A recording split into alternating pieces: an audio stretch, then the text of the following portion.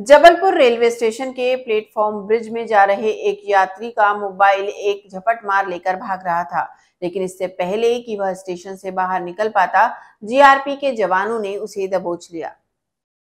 पूरे मामले की जानकारी देते हुए जीआरपी जबलपुर थाना प्रभारी शशि ध्रुवे ने बताया कि अरविंद भदौरिया ने थाने पहुंचकर सूचना दी थी कि वे जब ब्रिज से आ रहे थे, तभी सामने से आ रहा युवक उनके कान में लगा मोबाइल छीनकर भाग गया।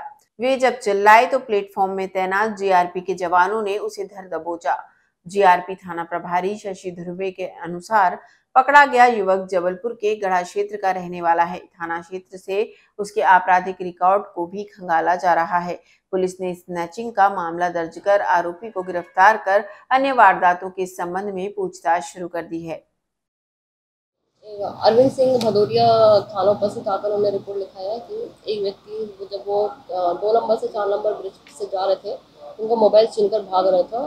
फिर उनके द्वारा शोर मचाने पर जो हमारे स्टाफ भी जो प्लेटफॉर्म पर पे ड्यूटी थे उनके द्वारा भागकर उसे पकड़ा गया।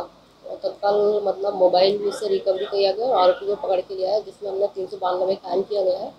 आरोपी को गिरफ़्तार कर उससे मोबाइल जब्त किया है जिसे हम न्यायालय प्रस्तुत करेंगे।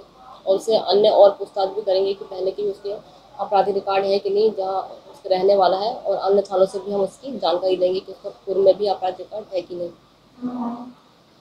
रहने वाला ये रहने वाला जलपुर गढ़ा का है तो हम गढ़ा थाना से भी संपर्क करके उसका अपराध रिकॉर्ड की जानकारी देंगे। इसको हमने स्टेशन से ही पकड़ा है इसको।